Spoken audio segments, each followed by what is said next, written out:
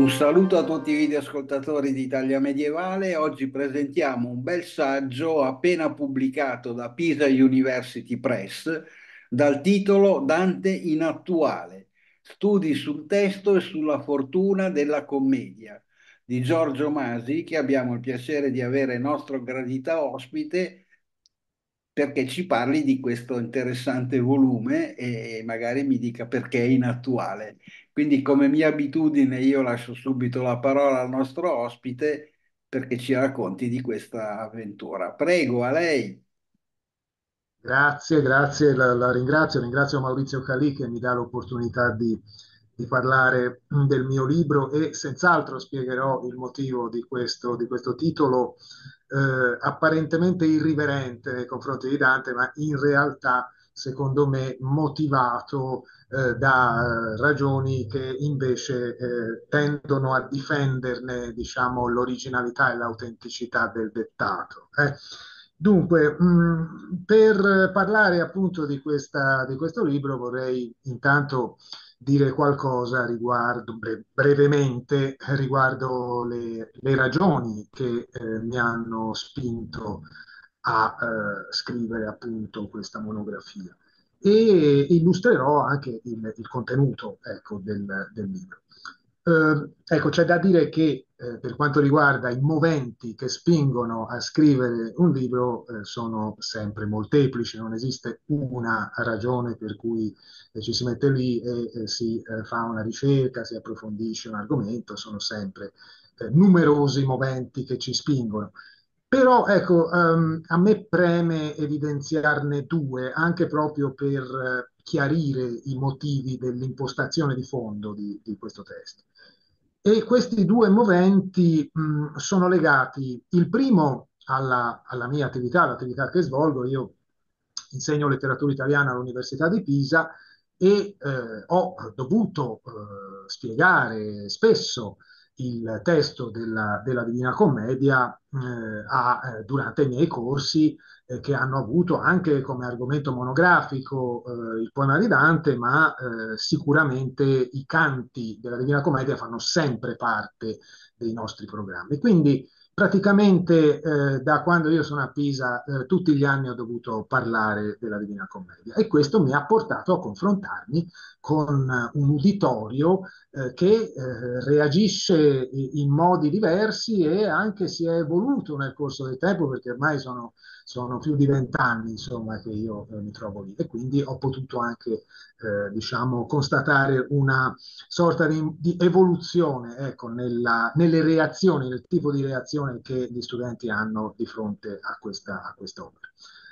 L'altro movente, ecco, e qui ci avviciniamo alle ragioni del titolo, è eh, l'aver sentito ripetutamente parlare eh, di, questo, di quest'opera, del, del, del, dell'opera più famosa insomma, di Dante, eh, per lodarla, soprattutto eh, in occasione del centenario, naturalmente, del centenario del 2021, avere sentito eh, sempre utilizzare questo aggettivo, eh, soprattutto diciamo da parte anche di non specialisti dell'opera di Dante, ma che vogliono promuovere appunto la lettura di Dante, eh, che è attuale. Ecco, cioè questo poema è attuale. Ora, eh, questi due moventi, quello appunto del confronto con i giovani, con gli studenti che si avvicinano a Dante, e quello dell'uso che eh, si ha non solo per, per, l'opera di Dante, ma in generale per le opere più antiche, eh, quando le si vogliono promuovere si dice che sono attuali. Ecco, questi, questi due moventi sono fra di loro connessi, fra di loro legati, come, come cercherò di spiegare.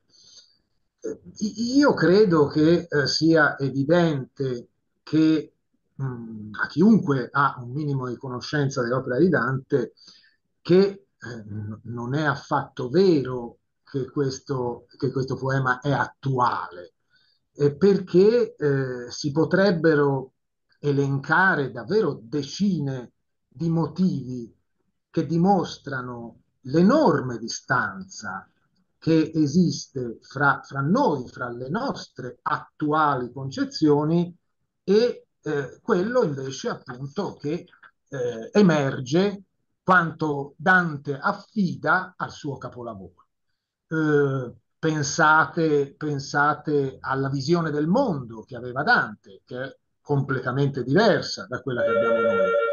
Pensate alla concezione morale, alla concezione morale e anche spirituale, direi, di Dante, che è diversa, profondamente diversa dalla nostra. Eh, l'idea della politica, eh, la politica strettamente, strettissimamente legata alla morale, per Dante con una visione provvidenziale. Figuriamoci, siamo le mille miglia lontani dalla nostra.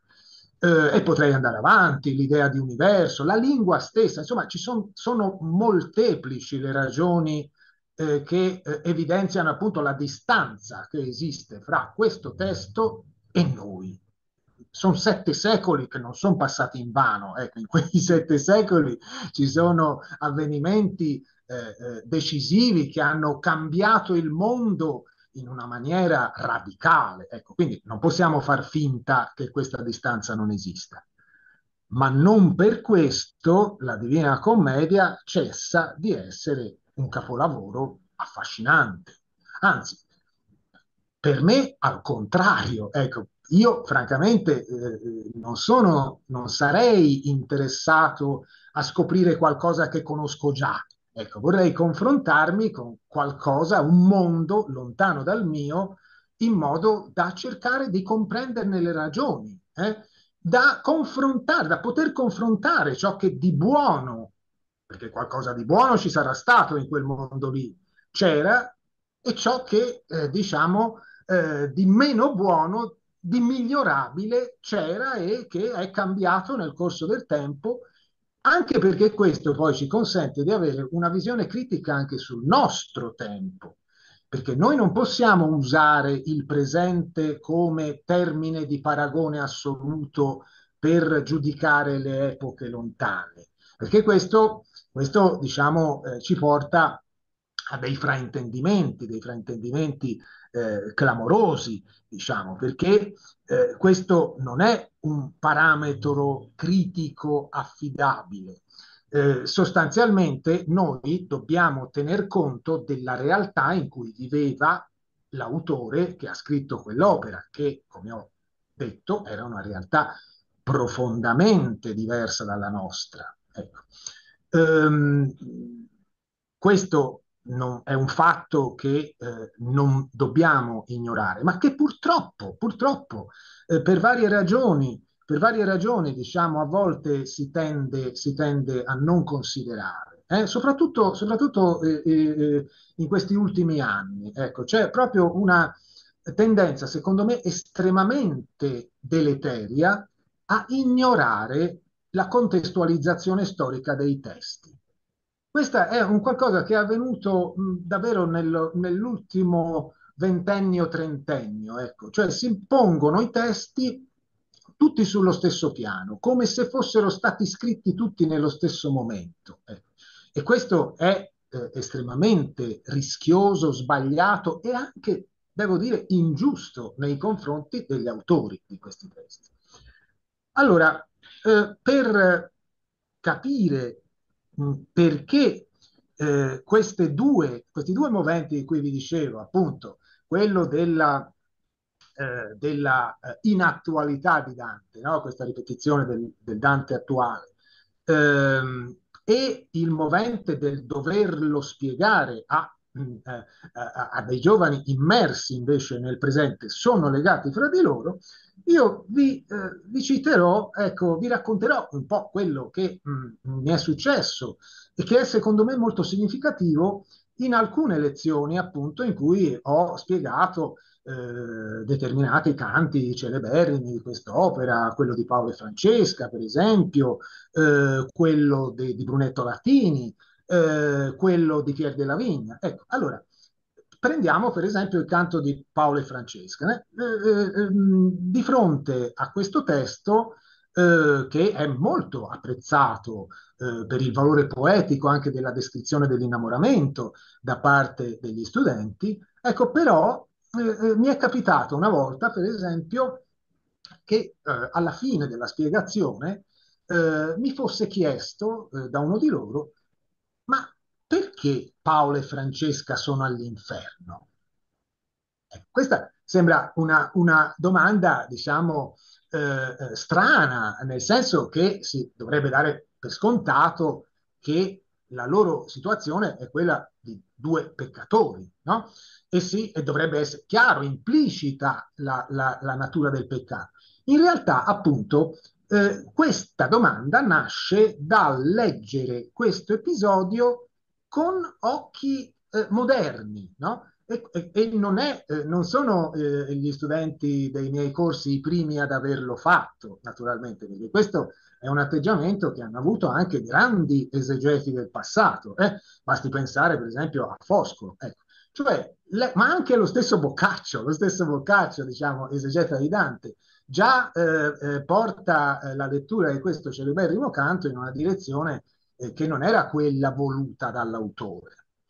Ehm, cioè, praticamente si tiene conto eh, della bellezza dell'amore tra, tra i due cognati e si perde di vista la natura vera del dramma che loro vivono e non si arriva a capire perché Dante, quali sono le ragioni del coinvolgimento emotivo di Dante che addirittura arriva a svenire no? alla fine del racconto.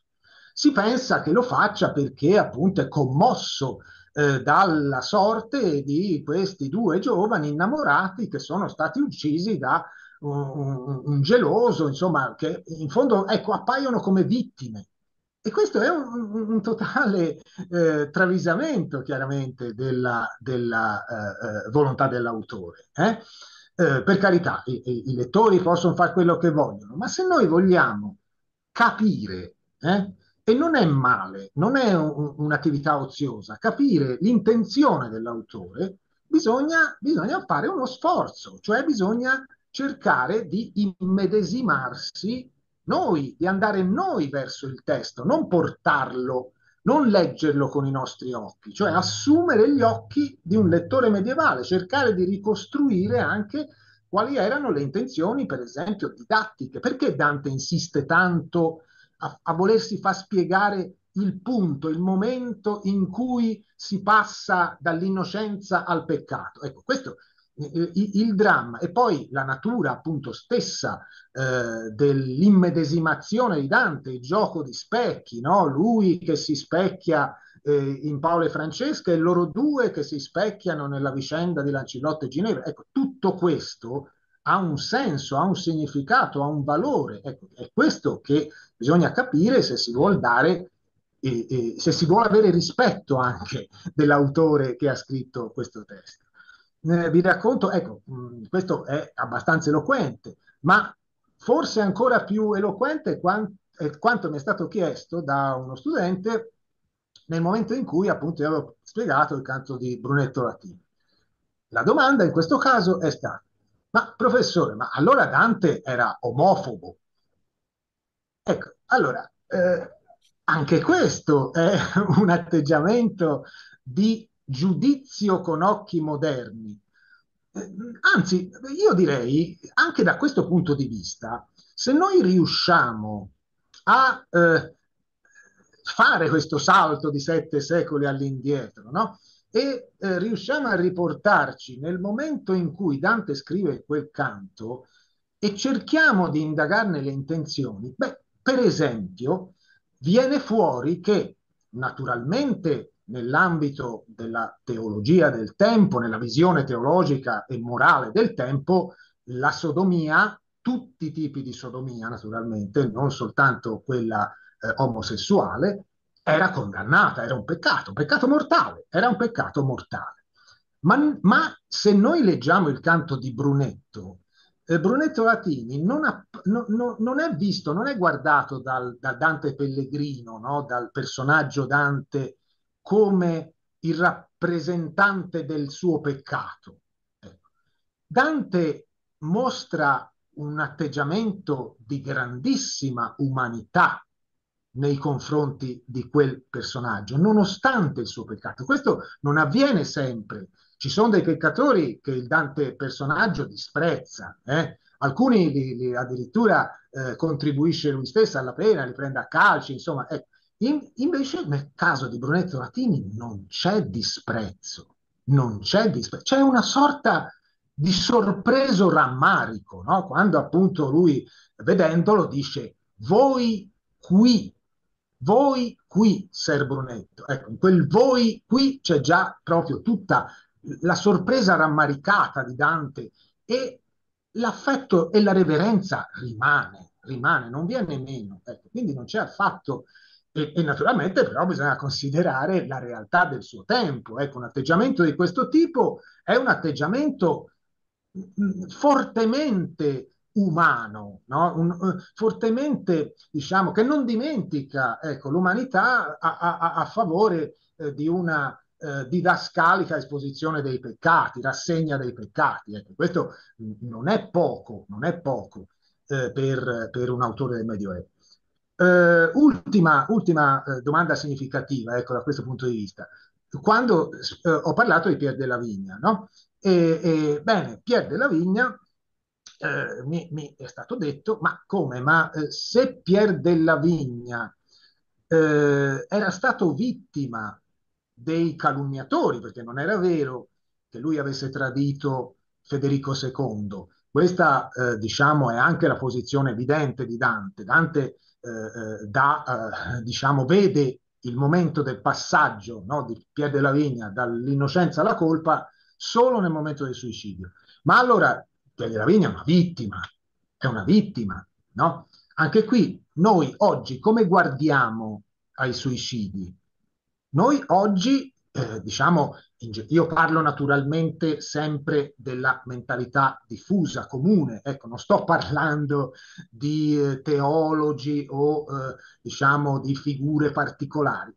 Comunemente, comunemente noi abbiamo, proviamo giusto appunto pietà per i suicidi perché spesso a, abbiamo anche un, un, vero reato che è l'induzione al suicidio. No? Ecco, noi vediamo le cose da questo punto di vista, quindi Pier delle Vigne a noi sembra una, una povera vittima di calunniatori, una povera vittima, non quello che è, eh, cioè per Dante. Eh, ed, è sta, ed, è anche difficile anche per tanti esegeti, anche di altissima levatura, è stato eh, quasi preso a pretesto il testo di Dante per prendersela con eh, il peccato più che per dire effettivamente, per capire effettivamente come Dante spiega il gesto di Pier della Vigna. E questo è un, un tema piuttosto controverso che io ho cercato di affrontare in uno dei capitoli del libro. Allora, eh, que- queste, queste, domandine, insomma, ecco, a cui io sono, sono tenuto a rispondere, che per fortuna, insomma, mi vengono poste perché mi offrono l'opportunità di chiarire certi aspetti, anche proprio aspetti che riguardano la distanza che c'è fra noi e questo testo, eh, che viene meno, è venuta meno anche perché spesso eh, si sono costruite le stesse antologie scolastiche in modo da eh, fare dei paralleli eh, fra testi distanti secoli fra di loro come se fossero tutti sullo stesso piano. E questo secondo me è stato un errore, è stato francamente un errore per avvicinarci a questi testi, noi dobbiamo ricostruire la visione del mondo di Dante, per quello che possiamo fare naturalmente. Ecco, ciascuno di noi deve fare comunque questo, questo sforzo.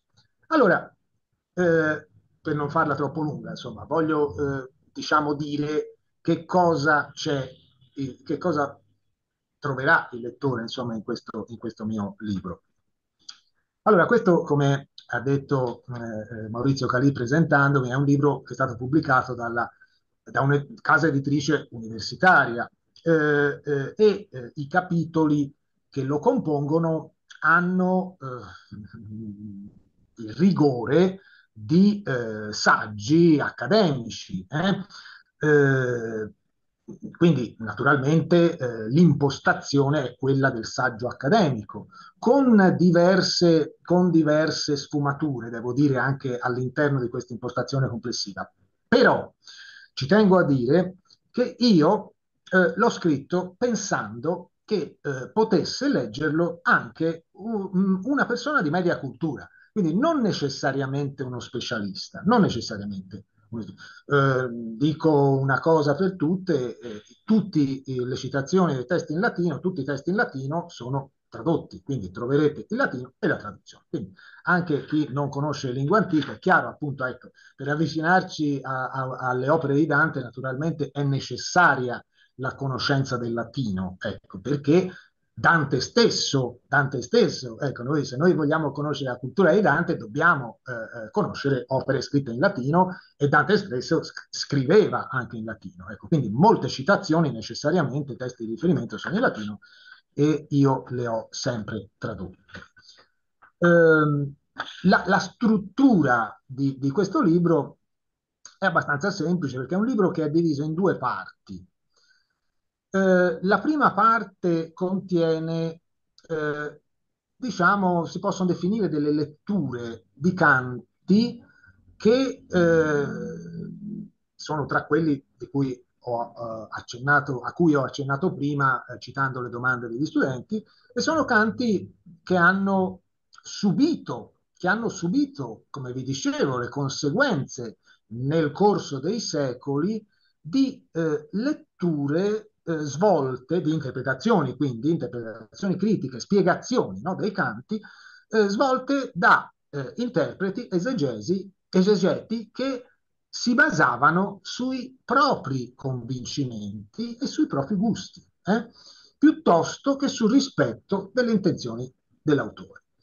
Eh, questo avviene, e lo si può constatare, eh, per il canto di Paolo e Francesca nel primo eh, dei capitoli della prima parte, dedicato appunto al quinto dell'inferno, e io appunto contrappongo a eh, queste mh, interpretazioni, diciamo, eh, soggettive attualizzanti, quelle che a mio parere eh, sono quelle più vicine invece alla volontà e al messaggio che l'autore intendeva trasmettere con questo splendido eh, episodio poetico del, del, della sua, eh, del, della suo poema.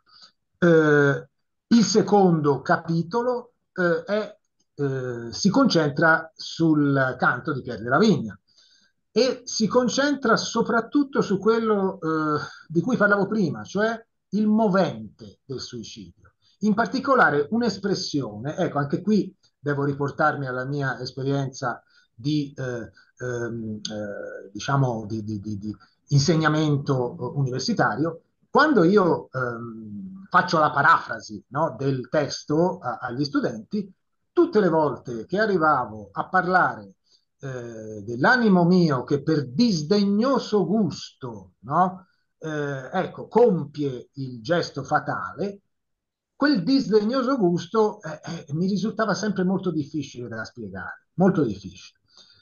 Anche perché, appunto, è uno di quei tanti punti controversi nella secolare, eh, nella secolare esegesi della, nel secolare commento, no, come si dice, della, della Divina Commedia. Quindi eh, eh, ho cercato di ricostruire eh, quale fosse eh, il punto di riferimento utilizzato da Dante e il significato di quell'espressione. Eh?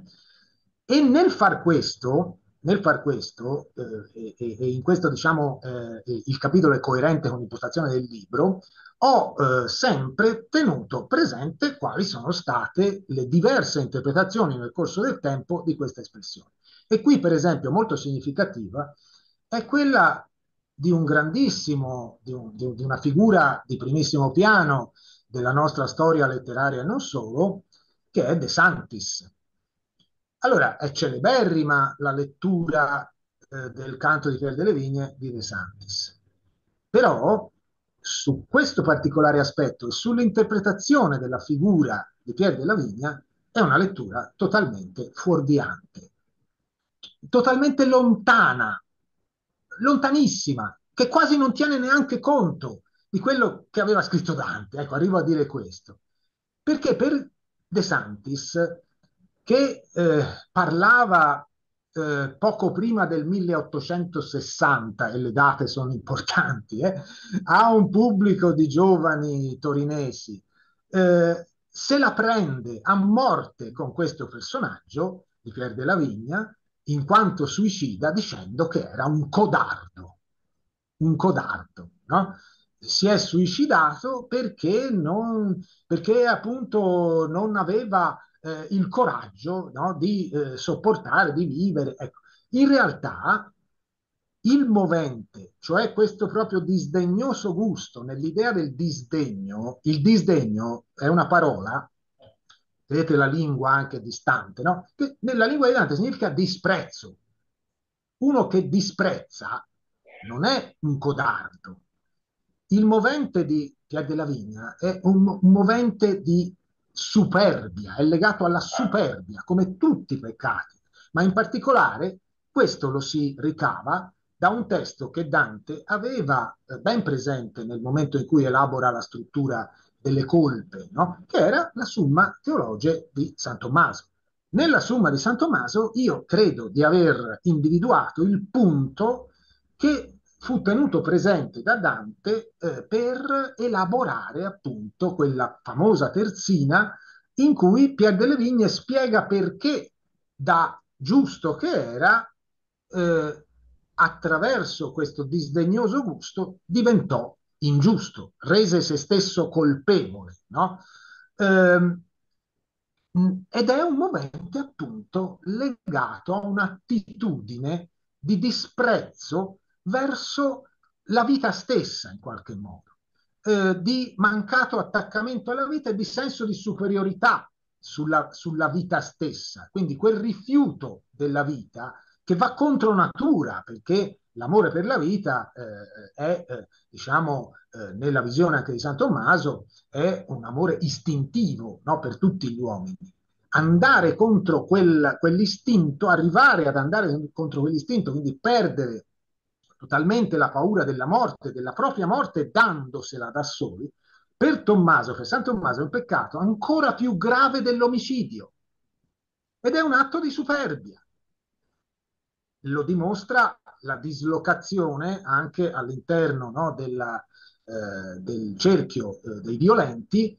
Prima ci sono eh, i violenti contro il prossimo, poi ci sono i violenti contro se stessi. Quindi si va verso il basso, ecco, un gradino sotto. No? Ecco, Dante tiene presente questi aspetti. Molti esegeti continuano, hanno continuato anche in tempi recenti invece a parlare di psicologia del personaggio. Ecco, questo è un approccio anacronistico, perché in Dante questo concetto che oggi noi abbiamo, eh, questa idea della psicologia eh, come scienza no? che, che, che, è stata elaborata nell'Ottocento, era totalmente estranea, totalmente estranea a Dante. Dante ha una visione che si basa appunto su parametri che sono quelli della morale, della morale spirituale. Infine, ecco, il terzo eh, capitolo, un altro personaggio anche questo, anche questo eh, eh, eh, diciamo, per me interessante e con una presenza effimera ma estremamente significativa nel poema, che è quello di Pia, eh, che non è dei Tolomei. se leggete le note del, del libro vedrete insomma che, anche, che, che, si dubita molto e secondo me ha ragione che la, eh, eh, la famiglia fosse quella questo personaggio, questo personaggio diciamo eh, presenta un, un, grande interesse eh, perché, eh, perché, è eh, emblematico nell'uso di un linguaggio che lo avvicina lo avvicino, uso un linguaggio anche eh, in pochissimi versi, sono sette versi sostanzialmente l'intervento della Pia alla fine del quinto canto del Purgatorio, però questi, in questi sette versi ci sono delle espressioni che sono strettamente legate, per esempio, eh, anche quella più famosa forse, ricorditi di me. Ecco, sembra un, una, un'espressione banale, no? Bene, dietro quella sollecitazione c'è la Bibbia, quella è un'espressione che eh, non sembrerebbe legata a valori spirituali e invece lo è. Lo è in maniera, secondo me, molto evidente, perché è un'espressione che si trova spesso all'interno della Sacra Scrittura, proprio nelle preghiere. nella preghiera che si rivolge, il, il punto di riferimento sicuramente di Dante è eh, quanto dice il buon ladrone a Cristo sulla croce. Ricordati di me quando sarai eh, nel regno dei cieli, no? Ecco. E, e, e, quel ricordati di me del ladrone, però come spesso avviene nel Nuovo Testamento, il Nuovo Testamento cita il vecchio. I, le parole del Nuovo Testamento sono collegate a quelle delle preghiere del vecchio. Insomma, questa espressione non è un'espressione banale. non è un'espressione, appunto, se noi la leggiamo con i nostri parametri, ci sembra, oh, ricordati di me. Ecco, già la scelta, comunque, ora non la voglio fare troppo lunga, già la scelta del verbo ricordati è cosa diversa da eh, abbi memoria no? di me, che altre volte Dante, rimembriti, ecco, rimembriti lo usa in altri, in altri luoghi Dante, ma è profondamente, etimologicamente diverso da ricordati, in ricordati c'è il cuore, no? Che è una cosa ben diversa, rimembrati è un'altra faccenda. Allora, la seconda parte invece è dedicata, del libro è dedicata al rapporto fra Dante e tre personaggi, eh, due molto famosi, uno molto meno, che sono eh, Michelangelo, Anton Francesco Doni e William Shakespeare. Eh, e in questo caso, ecco, non si tratta per questi personaggi di eh, esegesi, non sono degli interpreti, sono eh, tre eh, figure eh, che si a, riappropriano appunto del, dell'opera di Dante e eh, lo fanno in modo molto originale e direi anche molto felice. Ecco, quindi eh, in questo caso la differenza è che non si tratta di spiegare Dante con i propri parametri, si tratta di farlo proprio e con intenzioni creative, ecco, che è una cosa diversa. Quindi si vede che Dante ha una grandissima importanza per l'ispirazione anche artistica di Michelangelo Direi che Dante funge da, per Michelangelo eh, soprattutto da punto di riferimento eh, come teologo. Ecco, Dante è il vero teologo di Michelangelo, molto di più di quanto non si dica ora eh, riguardo appunto i presunti, secondo me, legami eh, dell'artista con, con la riforma che io anche qui metto in discussione.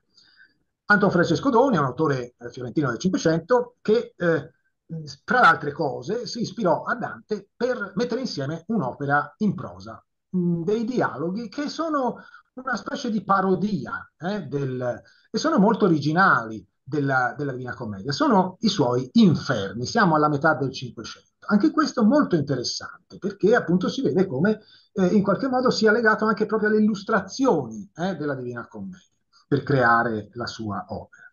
Infine, eh, e con questo chiudo, eh, propongo un testo che a mio parere dovette costituire il tramite che consentì a Shakespeare di conoscere proprio il canto della Pia, eh? proprio, eh, soprattutto il, il, punto appunto finale del quinto canto. Eh, fonte, a mio parere, per eh, alcune celeberrime scene del suo Amleto. E con questo chiudo scusandomi per aver abusato eh, del mio tempo. No, anzi, è, è molto interessante. Bisognerebbe avere il tempo di poterla ascoltare molto più a lungo e in maniera più diffusa, anche perché il tema non è di quelli eh, semplicissimi, no? Cioè, se, se, se, per 700 anni si sono arrovellati tutti su interpretazioni, letture, trasposizioni, esegesi intorno a quest'opera. Quindi adesso la cosa più importante è ricordare il titolo in modo che possano andare a comprarsi il libro, che è la cosa migliore da fare.